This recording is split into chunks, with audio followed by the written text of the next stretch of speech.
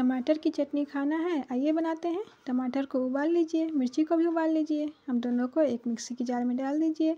साथ में लहसुन डाल दीजिए, थोड़ा सा अदरक डाल दीजिए, थोड़ा जीरा, थोड़ा सा नमक डाल दीजिए और पानी डाल के अच्छे से इसको चला लीजिए। देखिए, हमने चला लिया है। अब कढ़ाई में तेल गरम करते हैं। थोड़ा सा कलौंजी डालेंगे, बहुत थोड़ा डालेंगे।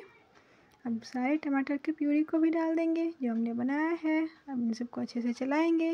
ऊपर ऊपर छिटक भी पड़ती है, इसका भी ध्यान रखें। देखिए, अब इसमें मिर्च पाउडर डाल दें, एक चम्मच चीनी डाल दीजिए। एक बार इसे ज़रूर ट्राई कीजिए। ये पराठा, रोटी किसी के साथ खा सकते हैं, बहुत टेस्टी होती है।